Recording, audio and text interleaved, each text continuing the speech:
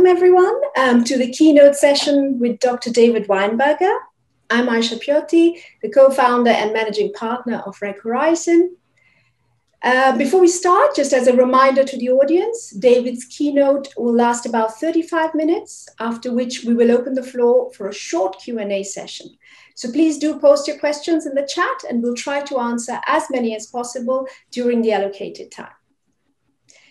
David has an impressive resume, so I'll try to do my best now to introduce him to you. David has written five books about the effect of the internet on our lives, on our businesses, and on our ideas. His latest book, Everyday Chaos, is about how machine learning is changing how we think about our chaotic world. He has also written for a wide range of publications, including the Scientific American and the Harvard Business Review. David has a PhD in philosophy from the University of Toronto and has long been closely affiliated with Harvard's Berkman Klein Center. He has also been a fellow at Harvard's Shorenstein Center on Media, Politics, and Public Policy, a Franklin Fellow at the US State Department, and an advisor to high tech companies and presidential campaigns. David, it is my great pleasure and honor to have you with us today. So, without any further delay, I would like to pass the floor to David Weinberger. Thank you so much for, for having me. It's it's it's uh, my honor. I sound very good on paper, but we'll, we'll just see about that. So um, I want to. Uh, I'm going to take over the screen. There we go. Okay, um, so I want to uh, talk today um, about um, machine learning and some of its uh, implications. Uh, my main aim is to try to provide a perhaps a different, uh, at least somewhat different framing of the topic for regulators. Um, so the, the, aim overall uh, of this talk is to um, embrace the promise of unknowing. That is the, the, the real power of uh, recognizing how little we know and how little we can manage. And this is in order uh, to enable us to regulate AI for maximum benefit. Um, because I, one of my premises is that there is tremendous opportunity in this new technology. Um, and uh, finally, I am assuming that we are all well aware of the issues with AI in terms of its being biased, the problems with accountability, lack of transparency, and that, that these are issues that we all take very, very seriously. And I, I do too. And I say this because I'm not going to talk about them very much. I assume that we are all pretty much in agreement that these are very important issues. In fact, they have caused something of what I would think of as an ethical panic in uh, much of the world's population, and with with good cause. This, this is in many ways a very frightening technology. I don't want to talk much about that. I do want to talk about what I am rather pretentiously calling a metaphysical panic that I think is underneath the ethical panic. So I don't have to tell you, you know, the basics of how machine learning works. Uh, for my way of talking about the framing, what's important is that the normal way of programming where a developer models a, um, a, a, domain in terms of the factors and the what we know about the relationships among those factors. All of that gets dropped in machine learning, where all of this turns simply into data uh, reflecting those factors without generally any information about what we already know about how they connect. It's all just data. It is just numbers, meaningless numbers. All the meaning gets stripped out of it when the when the uh, system is being trained on the data. Now, the data it's being trained on uh, is we've provided it because of a sense of meaning. But to the machine, it's just big piles of numbers, which seems like it should not result in anything interesting, but we know that it, it does. Um, we know that it results in, in, in, models that can be so, so, so complex that we can't understand them uh, sometimes, often in full, sometimes um, in part, and sometimes uh, particular uh, outcomes we just can't figure out, at least at this point, how the machine came up with it. But it was based upon some set of, of correlations that it discovered among the data, correlations that may be strong, weak, spurious. And the result is the natural state for machine learning is a black box because it doesn't care. It doesn't start with human understandable stuff, just numbers. And it results in a, a box that, if it works, outputs good, useful results without having to worry about whether it makes sense to us. This is not to say they have to stay black boxes, but that's sort of their natural state. They start as a black box, unconstrained by human meaning.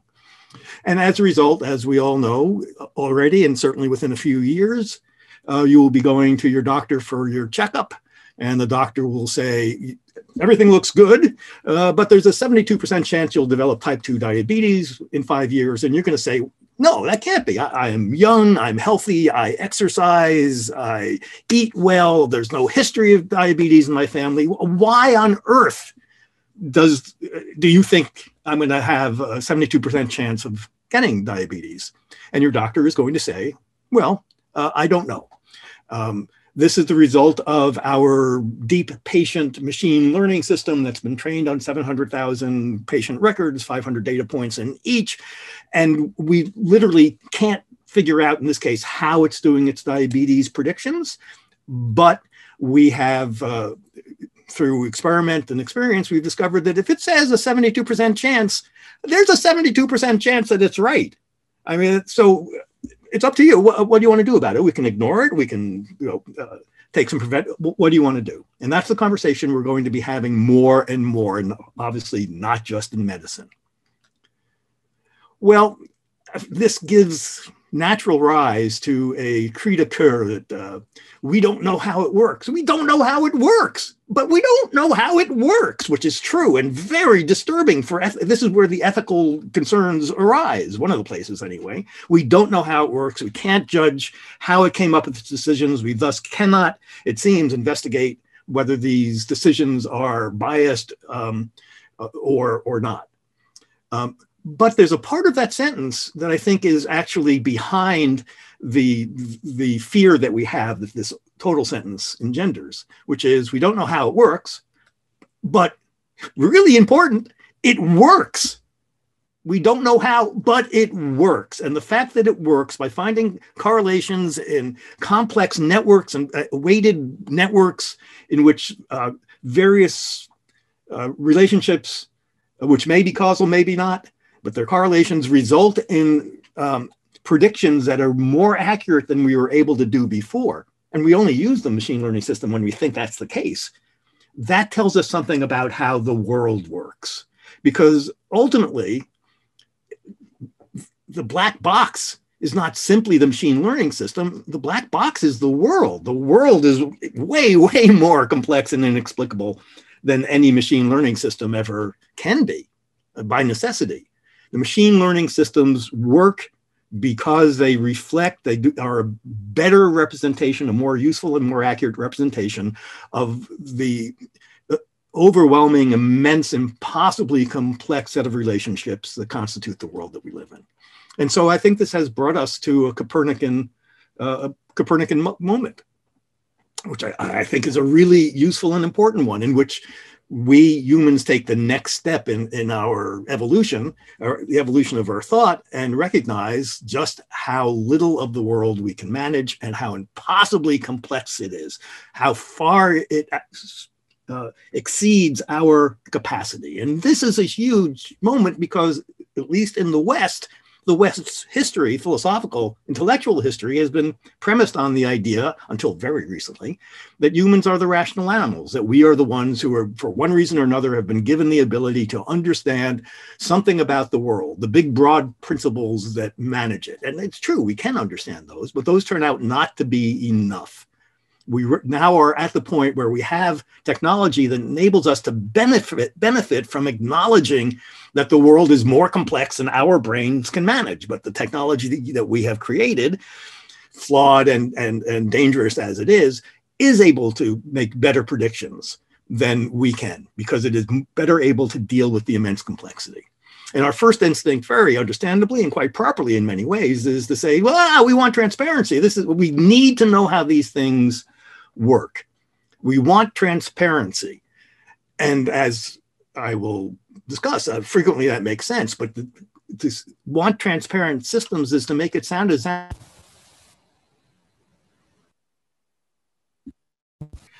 Okay. um, I'm not sure who can, can everybody hear me? Yes. Okay. I, am really sorry. Um, okay, so I'm going to go back to, I hope, go back to my presentation. This is more or less the definition yes. of a problem. You're okay, so, okay. Perfect. Well, let's, I'm just going to have to start all over if that's okay. Nah. Okay, so let me go back one slide.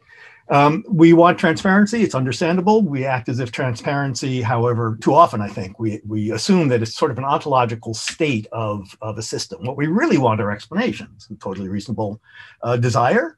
Doesn't mean it can be met, but it's totally reasonable. So let's talk about explanations uh, for a minute. Um, so let's say you are on, you're driving and you're on a back road because you were late and you took it as a shortcut, um, and uh, you get a flat tire and so, of course, you want to know what happened. You're looking for an explanation, and there it is. You find it. There's a there's a nail.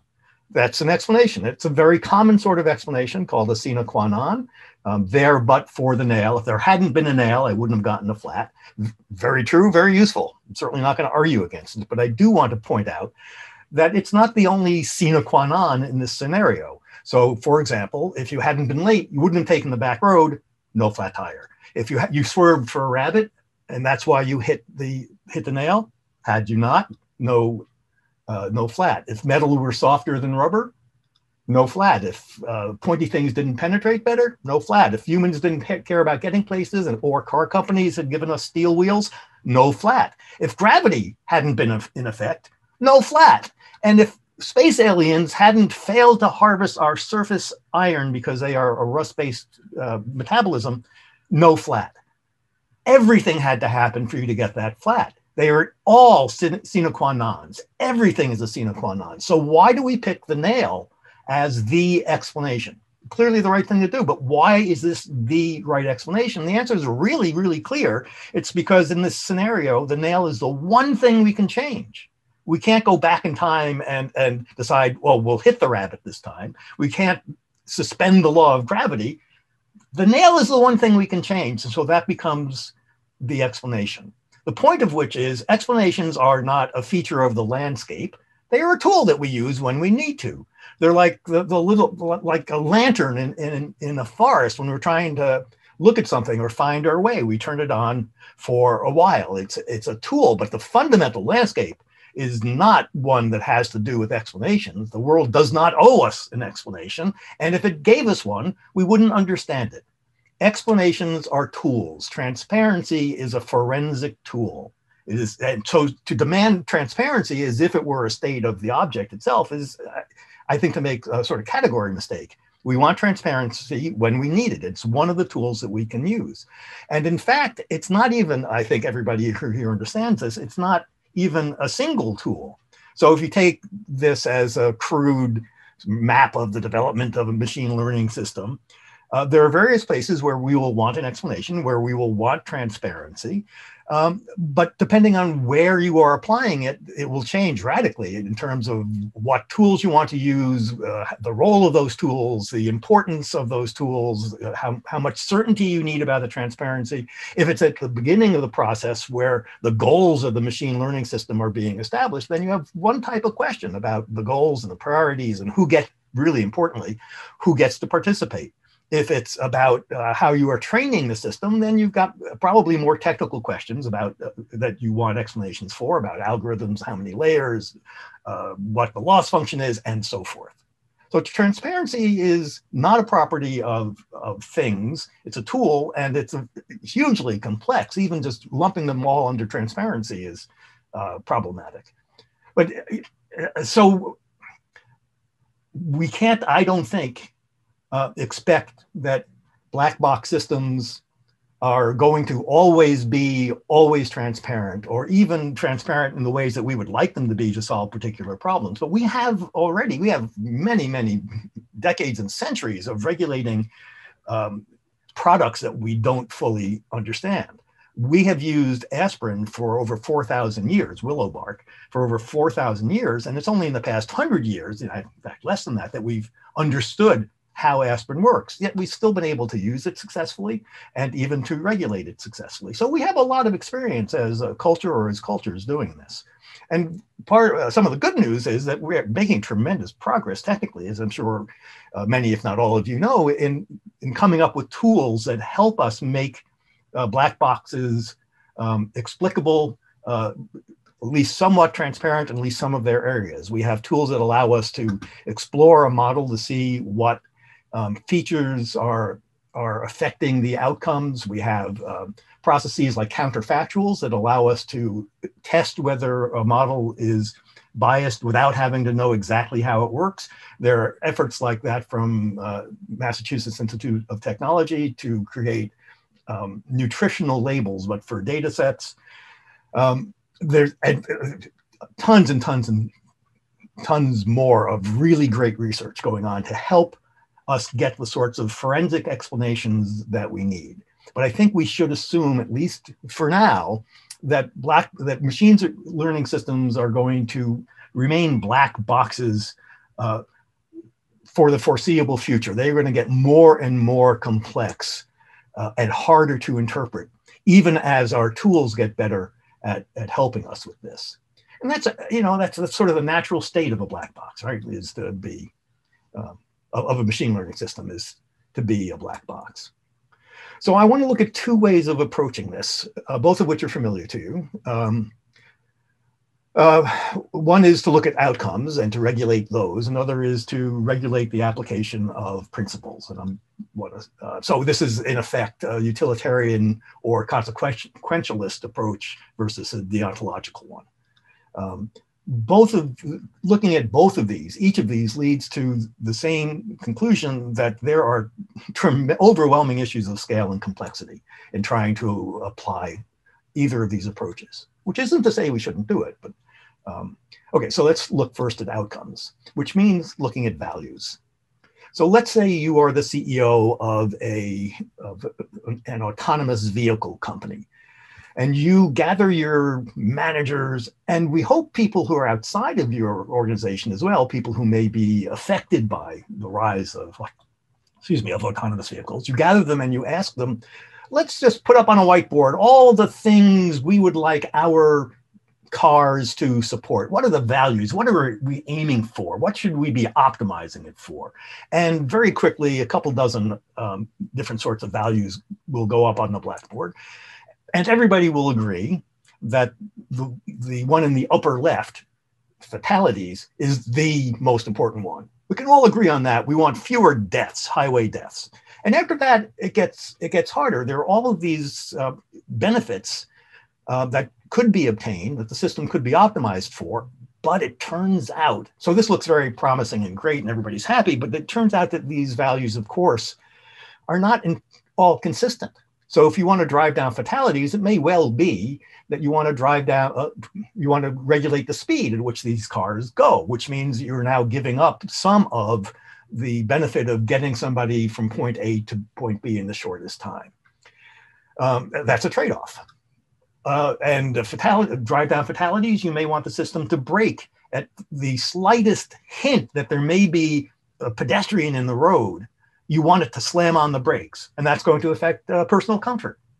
I'm not saying it's not the right trade off. I'm just saying it's a trade off. And likewise, shortest time to destination may make it impossible to achieve maximal environmental savings benefits. And if you go for, if you want your car to be really, really, really green, it may be that it's going to cost more, so you lose affordability, and so so on you end up not even with a hierarchy, a pyramid of, of values of optimizations. You end up with a conflicting net, a balanced network, a weighted network of, of benefits. These, these trade offs are extremely important and extremely difficult to, to uh, come up with, to decide on. And with machine learning, you have to do it at a, a level of precision that we are humans are not really comfortable with. Uh, but that drives really important conversations. And these gives rise to places where regulation makes, uh, I think, in my opinion, uh, you know, don't think this is controversial. You can regulate what the car companies are optimizing for. It would be perfectly reasonable to say, no, environmental savings, that's more important than personal comfort or whatever. Uh, and then you can insist on getting metrics about how the, the cars are doing in achieving those optimizations. Um, and that will presumably you know, address some of the issues. But that's too simple. It's already too complex, but it's too simple because that will optimize cars, perhaps. But we're not just looking at optimizing cars. That would be to miss an opportunity because there are going to be uh, networks of cars, presumably. It seems to me at least quite likely. And I hope that cars will be forming transient networks on the highways so that your own car will literally be able to look over the highway, uh, over the horizon, but the, because the car that is over the horizon will be sending back information. But this also means that cars can and should coordinate in order to achieve maximal social benefit. Or even just in a particular, you know, a, a child wanders out into the middle of the road, the cars can communicate and make um, decisions about routing around it. Car A says, I'll go left if you go right, and car B says, I'll go right if car C go, and so forth, and they can route around it. We want we want the net we could optimize the cars individually but still if, if they are each pursuing their own optimization so one car company is proud to make the fast car and another one is proud to make the green car and another is proud to make the safe car and the other is proud to make the, the inexpensive car they're optimi- they will be optimized for different things and the network may lose the opportunity for overall system optimization. This is gets really really hard but i would hate to lose that that possibility. So to optimize uh, to, to, optimize and regulate outcomes, I think requires humans being ex- not just uh, explicit about what values we want, but precise enough that a machine learning system, which is simply a statistical engine, is able to operate on them. Um, it means having many, many difficult human arguments because we do not agree about the values that is a we've been able to get by somewhat with both of these because we haven't ha- dealt with a technology that requires such precision. So now let's talk about fairness um, as a type of um, principle-based approach. Um, so it is well known, and I and I, uh, I hope understood that AI has much to learn from fairness about fairness. Right? That's really important. But again, it's because it's so well known, I'm not going to talk uh, about that because I think it's also the case that fairness has much to learn from AI, from machine learning. So uh, one can ask why fairness is the term that's used in moral discussions so frequently about um, AI, because it's not a term that has a lot of presence in, in Western philosophy, which prefers to talk about uh, justice and morality and the good and things like that. And fairness has been considered to be um, sort of like folk medicine that uh, medical professionals don't take all that seriously. But now fairness is the term that's being used. Um, and I think in part it's because fairness is simple.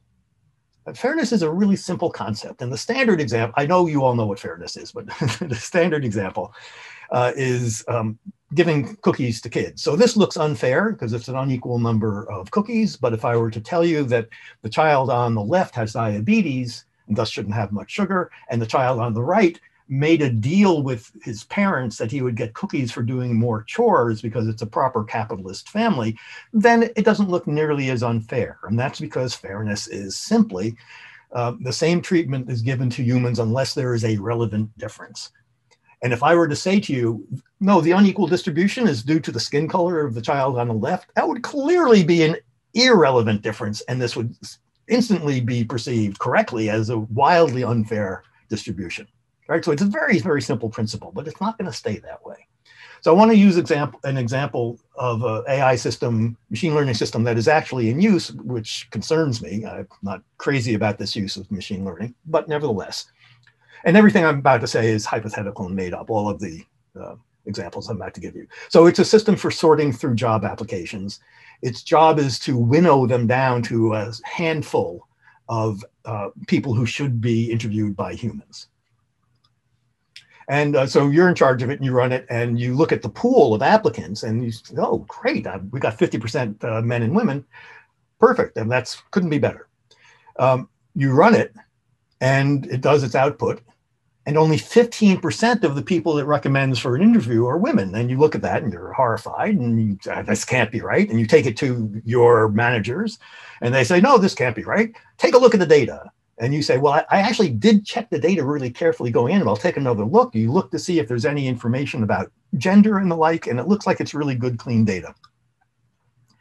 And so somebody in your organization is going to say, well, then 15% is the right number. This is gender blind fairness, right? We, you just told us gender wasn't considered. If this is the outcome, that's fair.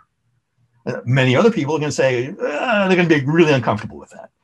And so you're going to say to them, perhaps, well, look, you know how this works, right? So that um, these machine learning systems, they're statistical and uh, probabilistic. So the way you get into the approved pile is that we set a threshold. We say if the system, in this case, is 80% sure that you will uh, worthy of an interview, it'll put you in, whether you're a man or woman, 80%. And that's how we ended up with the 15%.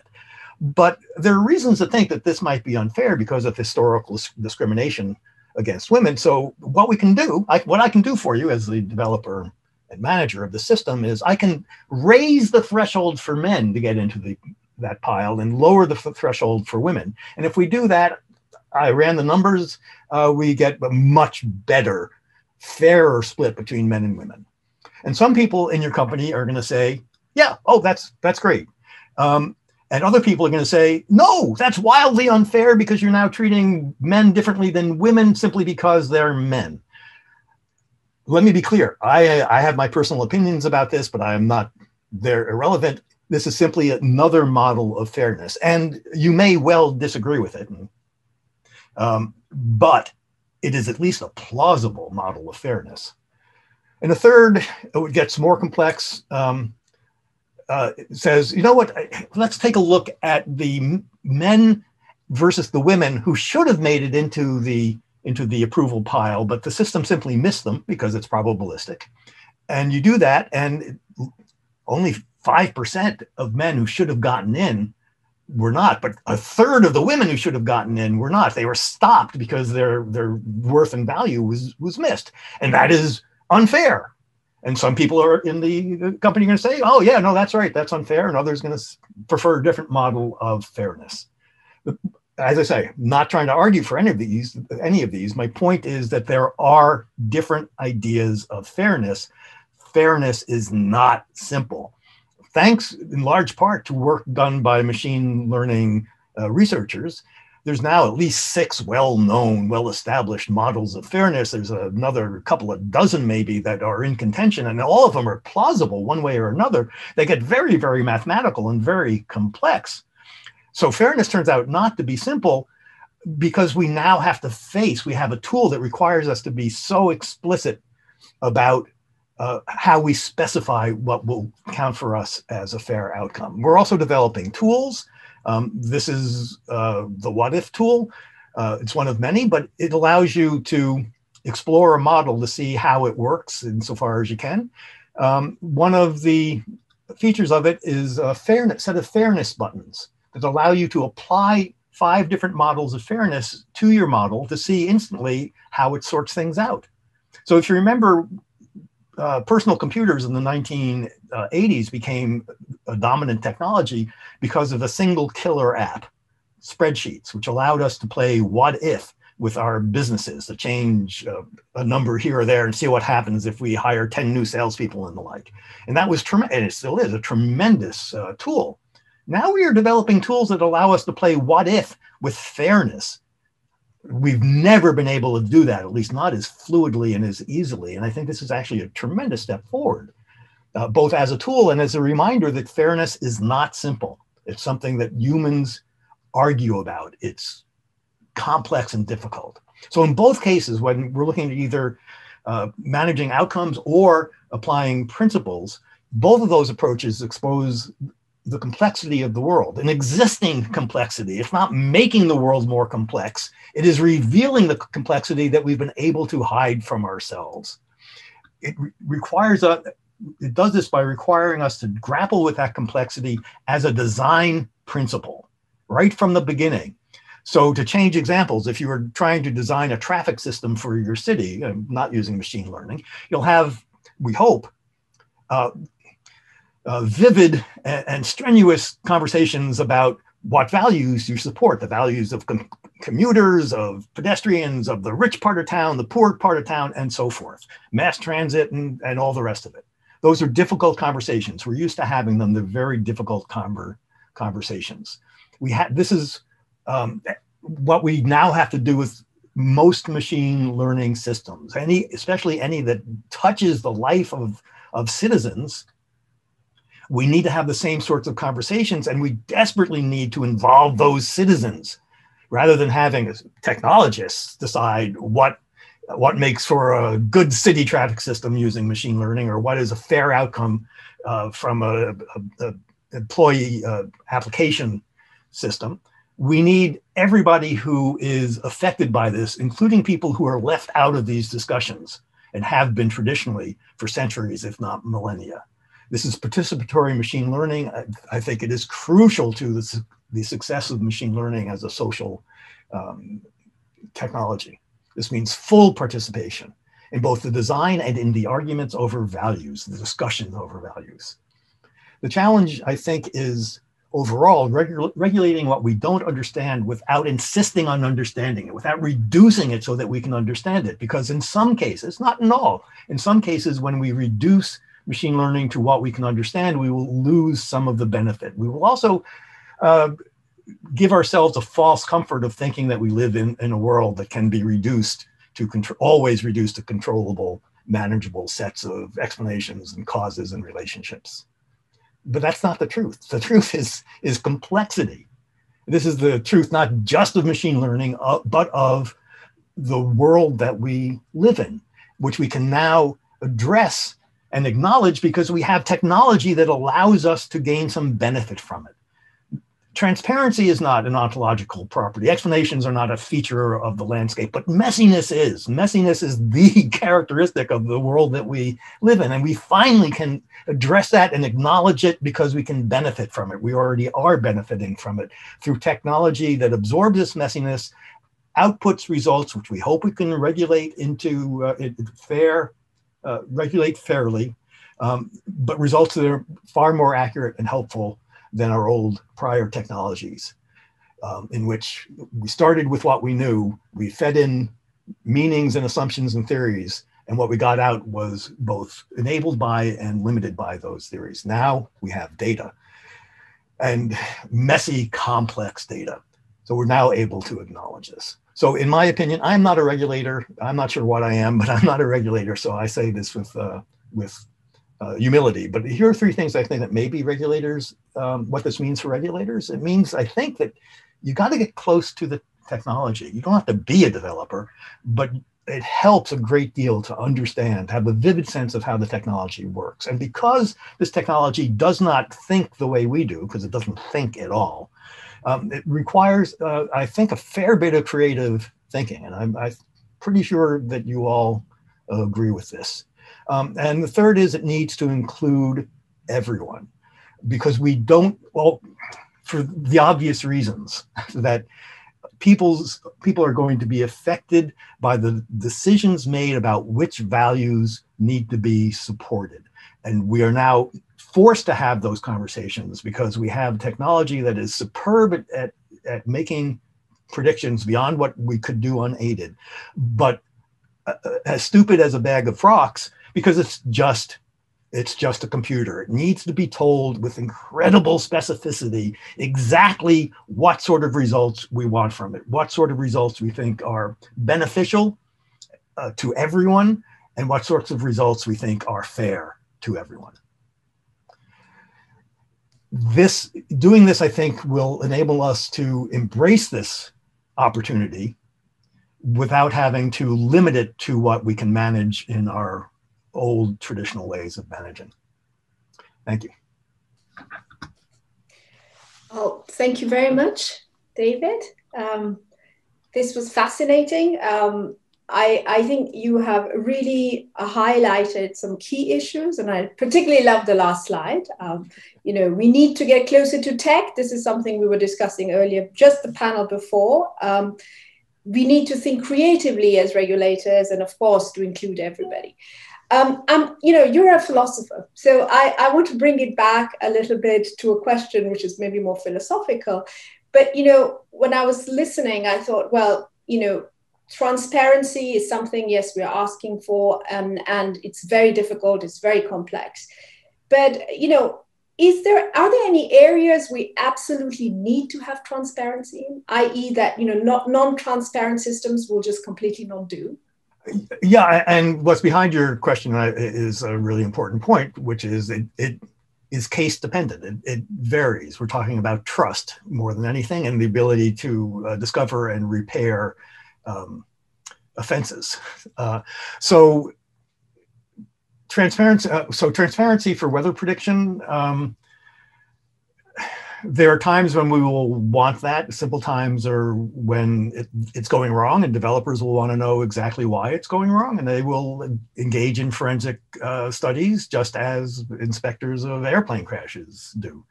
Um, there are also times when we may want to question the uneven distribution of data that supplies um, weather systems um, which may favor developed nations over others, depending how many sensors and satellites are flying over your, your uh, area.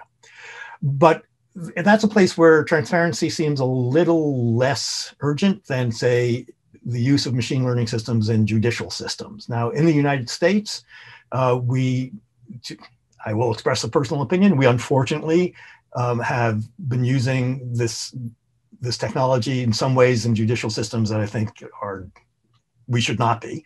Uh, the most famous example is the use of a particular machine learning technology to set bail. We already have a horrendous and horrendously biased bail system, and to suggest sentences.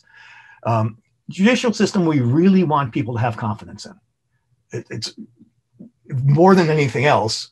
Um, judicial system could be totally just, and everybody if everybody thinks that it's not, then it's the society falls apart trust is really, really important. And that's a place where we may want to either not use machine learning systems or only use them in ways that uh, somebody who feels that he or she has been treated unjustly can ask for an explanation and count on getting one.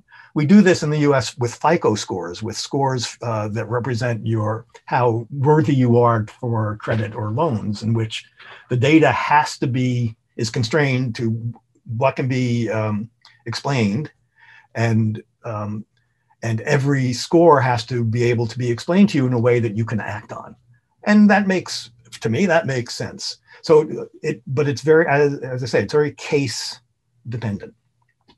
The case, if I were a patient and, and if there in 10 years the machine learning system has shown itself to be accurate in the way, you know, 72% accurate in, in its diabetes prediction, is a made up example, I would take that very seriously. I, without knowing how it came to its decisions any more than I really know how my doctor uh, maybe came to her decisions. Uh, Pavlina, I was just wondering if we have any questions in the chat that maybe you might want to share. Uh, yes, hello, Dr. Weinberger. First, there are a lot of accolades in the chat about your speech. A lot of people found it very inspiring. And um, Vrix and Acosta would like uh, to point out that uh, one of the major points is not leaving anyone behind and is asking what about the regulator who has tech, legal, educational, managerial, marketing background, and who considers to be a systems thinker and solution creator manager for the complex issues that may arise? What would be your take on their role?